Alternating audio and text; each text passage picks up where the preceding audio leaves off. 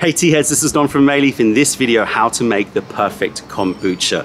Yes, yes, yes, I know you've probably seen many of these videos before on YouTube, but this one is gonna be different. We are gonna deep dive into kombucha making with Adam from JARR Kombucha. JARR Kombucha is one of the biggest and best kombucha producers in the UK, and Adam has dedicated many years into crafting the perfect kombucha.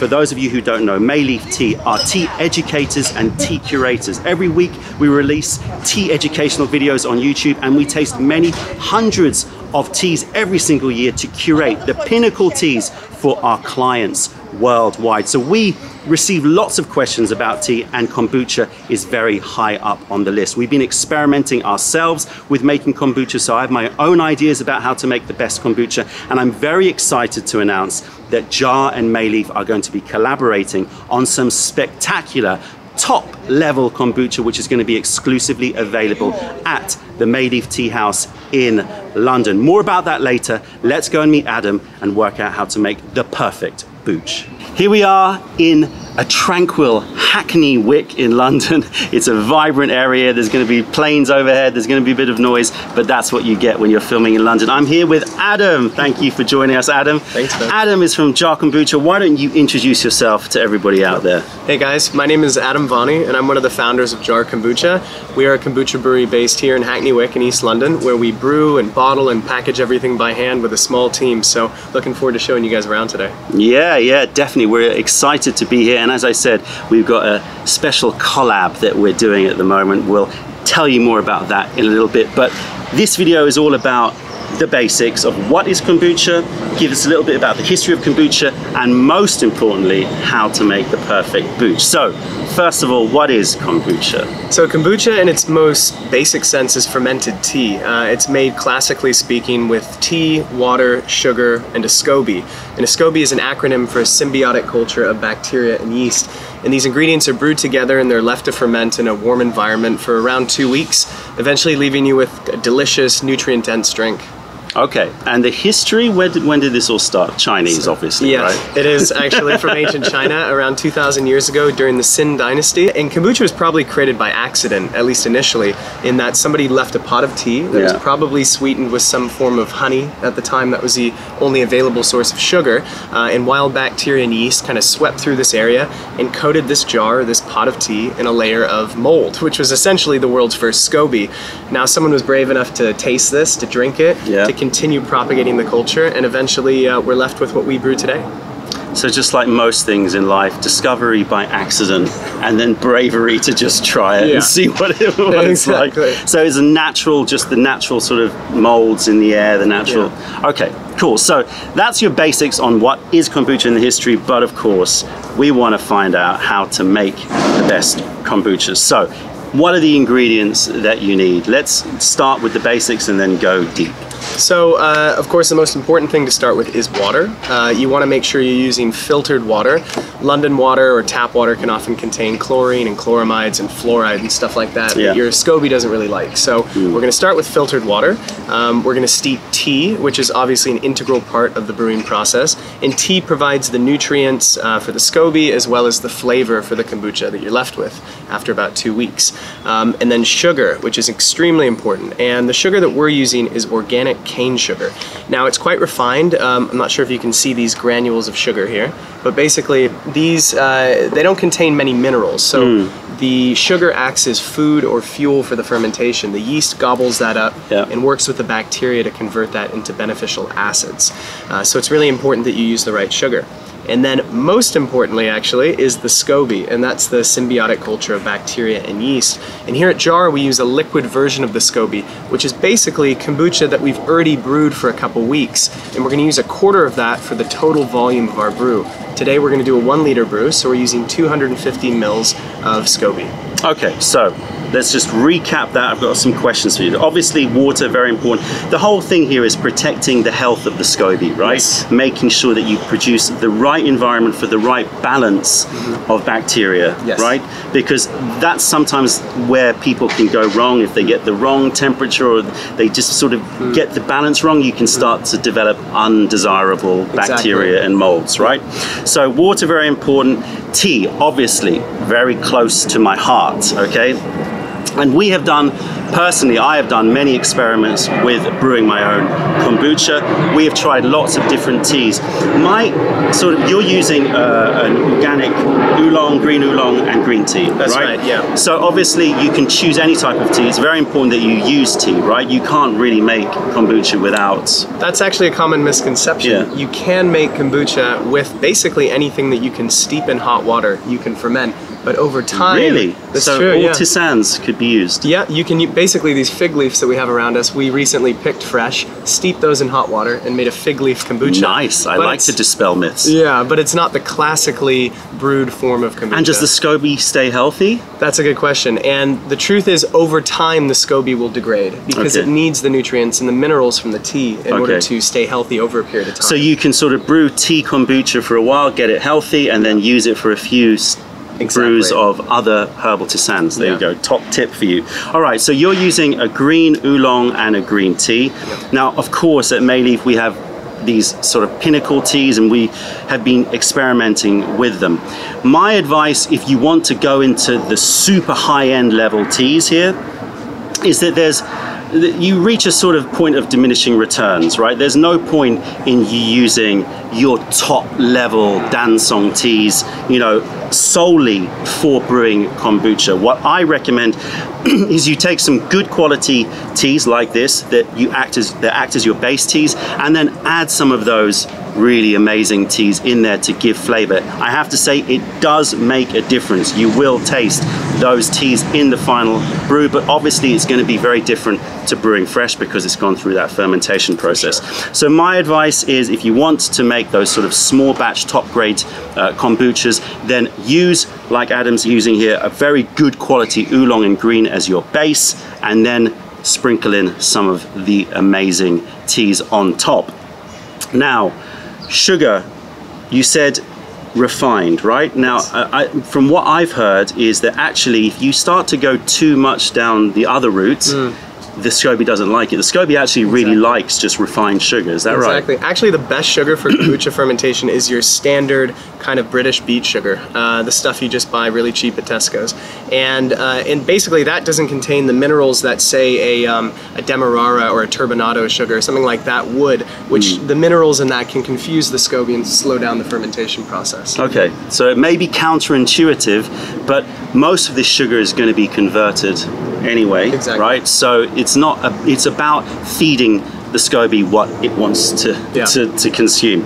Okay, so we've got the water, we've got the tea, we've got the sugar, we've got the SCOBY, and as you said, you don't need the SCOBY necessarily. This is what would you call this? Inoculate, or would you call Well, it? Well, this is technically the SCOBY. It's it's the bacteria and yeast suspended in a liquid form. Now, when you brew kombucha for a period of time, that's exactly what happens. The uh, the bacteria and yeast become a part of the liquid itself. Hmm. But if you're starting a kombucha brew for the first time, I do recommend that you buy the classical Yeah. Cellulose pellicle, as it's called in scientific terms, from a website. Uh, there's a website called Happy Kombucha that we recommend uh, that actually sells these, and with it will come some of this Yeah, liquid. It always comes with some liquid in. Exactly. You need to keep that in. And when you're doing your brews, we'll talk about that later on. You've obvi- obviously got to always keep some of this. okay, so you've got all your ingredients. Let's get brewing. What do you do first? All right, the first thing we're gonna do is we're going to fill up this jar. We got a one liter jar here with about basically a quarter of the way with hot water. Now, depending on the tea you're using, you're gonna wanna make sure that your water is at the right temperature. Now, our water today is about 80 degrees, which is perfect for the green tea that we're going to use. So I'm gonna fill that up to about a quarter of the way. That should be good there. Now, a mistake that people commonly make is that when they're brewing, say, a one liter batch, they'll fill it to the top with hot water and steep their tea in that. You always, though, want to keep a quarter so that you can cool this hot water down mm. so that when you introduce your SCOBY, it doesn't burn off the bacteria. Right, yeah, of course. So we're just gonna plop our tea bags in. For a one liter brew, we're using four grams of tea. So each of these are two grams. Okay, so I'll stop you here, right? So obviously, being a tea head and a Gong Fu brewing lover, I, when I make my kombucha, I will increase the amount. You're brewing this for what, two minutes, three minutes? We're going to be brewing between three and five minutes. Three and five minutes. So when we do it um, at my place, we'll use probably about, I would say, three times the amount of leaf, and we'll be brewing for about two minutes, right? And obviously, again, it's all sort of dependent on your uh, desires in terms of how much you want to spend on your kombucha because it's going to cost more money, right? But you know, finding the right point is up to you. But obviously, increasing the amount of leaf, reducing the amount of time slightly, will produce a more, I would say, complex tea starter to begin with. Um, but experiment, of course. Okay, Yeah. so three to five minutes. Yeah, and we're just going to stir that around to make sure we get all of the tea in there.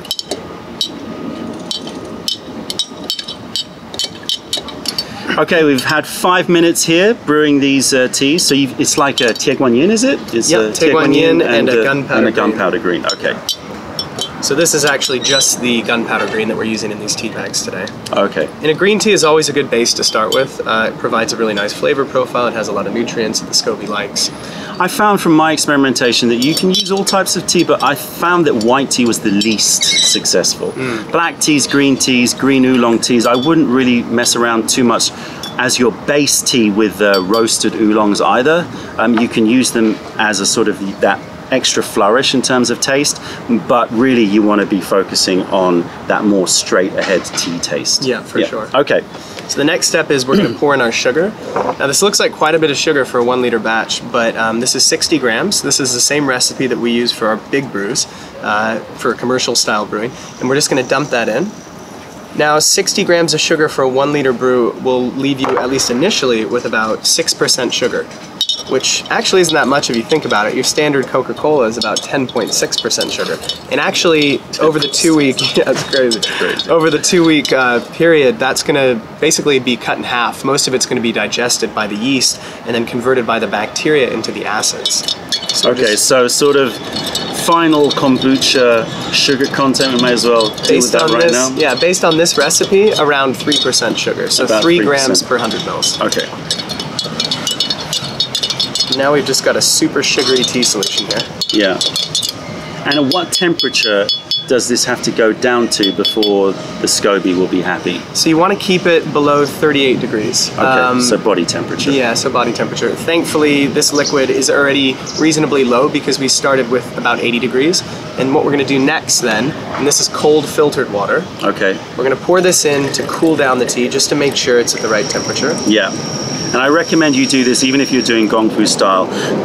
Brew it in a smaller amount of water than you normally would just to get very concentrated brew and then uh, dilute with colder water. So otherwise you're just going to be waiting around and during that time waiting around the tea will start to oxidize as well.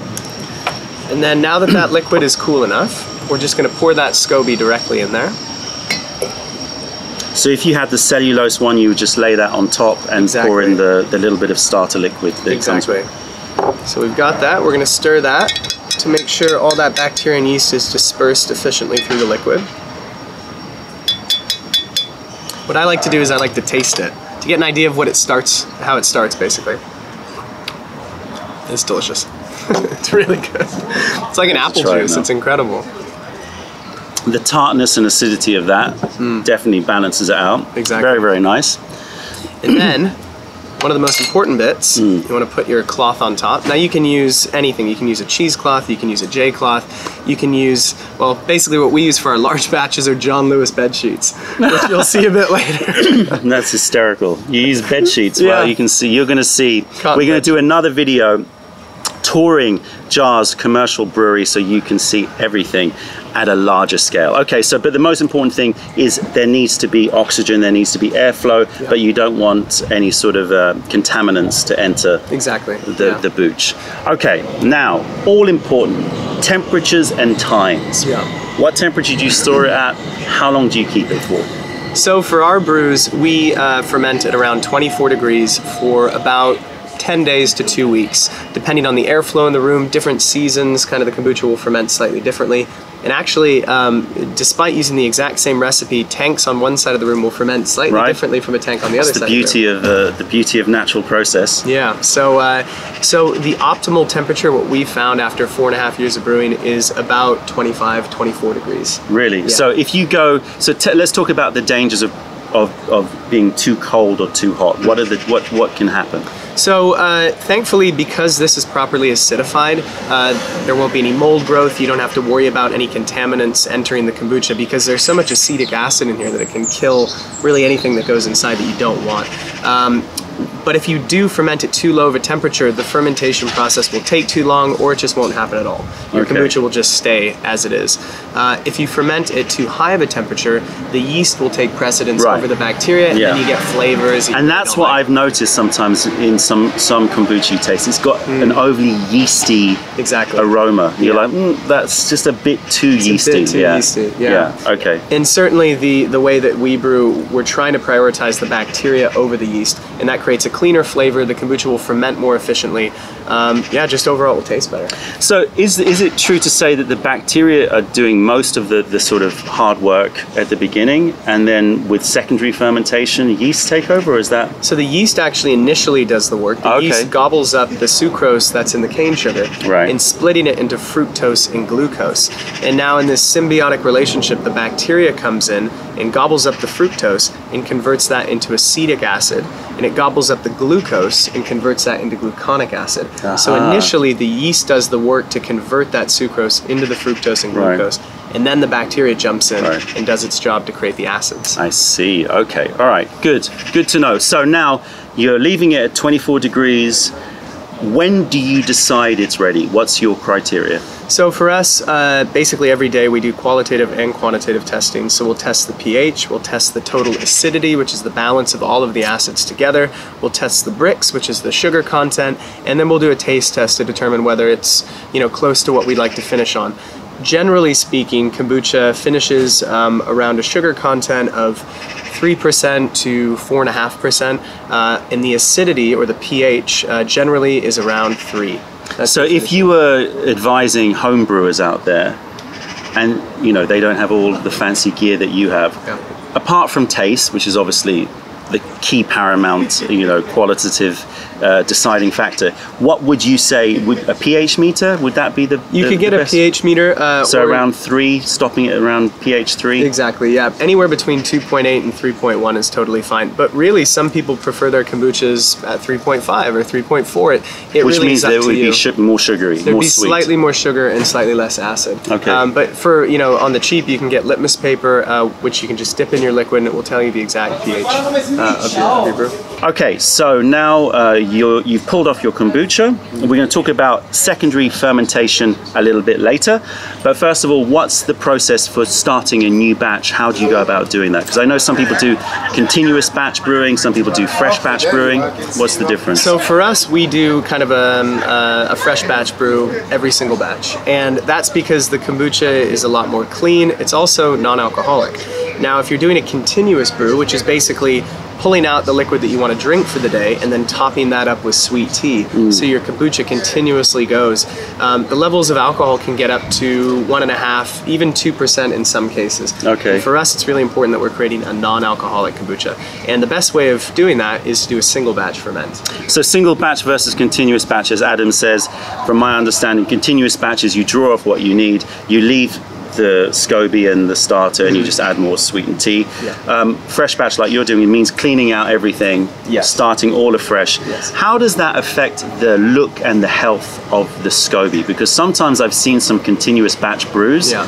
and the SCOBY, let's say, looks a little bit um, worse for wear, or it's, it looks like a bit of a monster in there. Yeah, I mean, uh, kombucha brewing, generally speaking, is not the prettiest thing, uh, but continuous brew, uh, oftentimes the yeast will will hang in these big strings, or it will die off and fall to the bottom, so you get often a darker, cloudier brew. Yeah. When you're doing a single batch, it doesn't give enough time for the yeast to take over, so you often have more clear liquid. Let's take a look at this SCOBY. Yeah, so this is two weeks in. Uh, this is a batch that we did two weeks ago.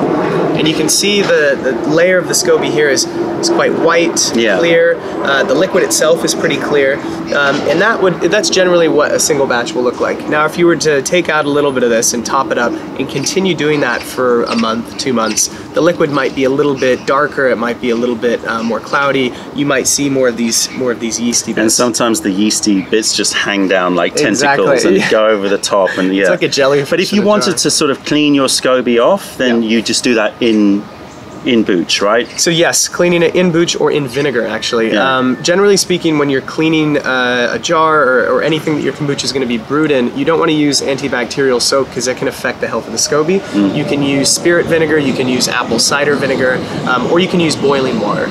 And whilst we're on the subject of keeping the health of the SCOBY, what is your opinion on metals? I know people get like frantic if you use a metal spoon. Yeah. What are your thoughts on that? Yeah, we get asked that question a lot. Um, generally speaking, stirring your kombucha with a spoon like we have here is completely fine. Um, if you are brewing in stainless steel, which is what we do in our larger batches, we use fermentation grade stainless Yeah, steel, which yeah. is made for for um, for fermenting wine originally. So that level of, uh, of, of stainless is, is uh, completely safe for kombucha brewing. But at home, you know, generally speaking, glass is, is ideal. Okay. Um, but it's not the end of the world if you use a, a metal spoon to, to stir. all. A lot of people no get like, oh no, you if you put metal spoon, you kill I the know. kombucha. A lot of people think that, but no, it won't kill the kombucha at all. Okay, and while final subject on Scobies, Scoby hotels. Scotels. Scotels.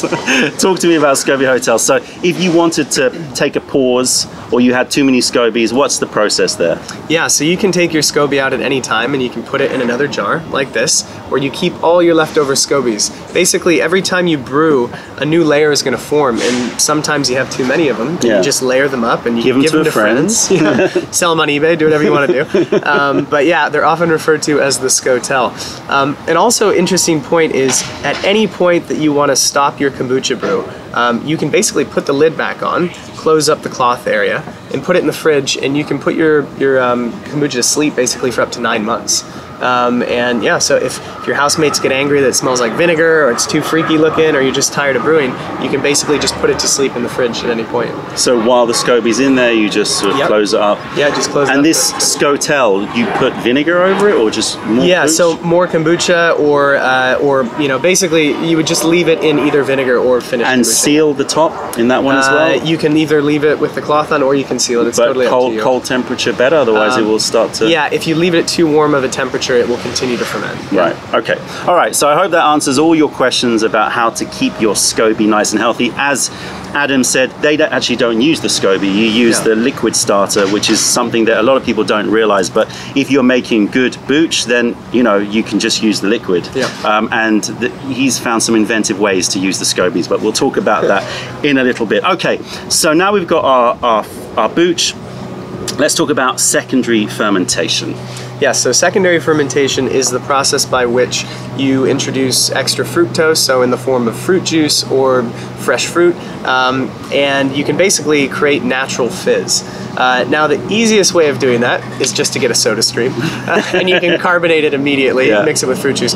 But if you want to do it the natural, old-fashioned way, what you can do is you can basically take your finished kombucha. So, say in two weeks' time, your kombucha, you taste it one day, you've tested the pH, it tastes perfect. What you initially want to do is save some of that finished kombucha to use as starter liquid for your next batch. Mm-hmm. But then the leftover kombucha that you have there, you're, you're ready to drink basically. And what you can do is you want to get a swing top bottle, uh, like a Grolsch style bottle, Yeah. or even our JARR kombucha bottles, which uh, can withstand quite a bit of pressure. Yeah. And what you want to do is you want to pour your finished kombucha into one of these jars with a little bit of headspace, and you can either chop up some fruit, say some pineapple, you can chuck some berries in there, or you can pour juice in there. Yeah. And you'll put the top on, and you want to leave that then at the same temperature that you were brewing your kombucha at uh, for around three days. And each day in the morning, you want to pop open that top and let out the excess CO2. Make sure you burp it, otherwise Yeah. it could get Yeah, could then you get dangerous. exploding bottles. Uh, Yeah. We've definitely had some booch blown in our faces before. really? yeah, uh, in the early days.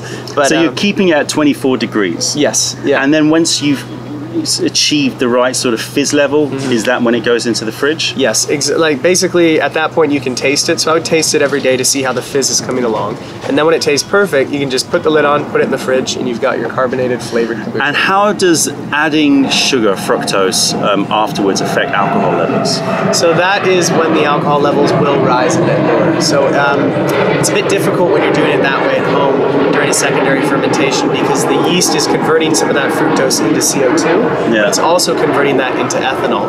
Um, and the easiest way of, of basically keeping down the alcohol levels is to do that with something like a soda stream um, to I don't want to call it artificially carbonating because you're basically using the same compound, which is CO2 Yeah, it's still to produce the CO2, liquid. yeah, yeah. So, um, but that's the easier way of doing it. But if you're doing it the, the natural way, the kombucha alcohol levels can go up a little bit. Yeah. Okay, well, up to you. If you want a little bit more of an alcoholic booch, then of course that's up to you. So there we go. That's how you make kombucha as instructed by the kombucha master himself, Adam from JARR. As I said though, there's no harm in experimenting. Yeah, right. In fact, experimentation is very, very good. I didn't know that you were making kombucha out of fig leaves, for example. So I'm excited to taste that. Right, we're going to also do a couple of other videos. We're going to be doing a video about the JARR Brewery itself, touring a commercial kombucha brewery, and we're going to be doing a video all about the health effects of kombucha. We'll be putting links to those videos in the description below. But apart from that, thank you, Adam. Thanks for having me. I'm uh, I'm raring to taste more of your booch, and uh, we're gonna go and have a tour of your of your brewery now. That's it, tea heads. Check out our other videos, taste our teas wherever you are in the world by visiting meileaf.com and come visit us if you're ever in London. Other than that, this is Adam. I'm Don from Mei Leaf. Thank you for being a part of the revelation of true tea. Stay away from those tea bags. Keep drinking the good stuff and spread the word because nobody deserves bad tea. Bye. See you guys.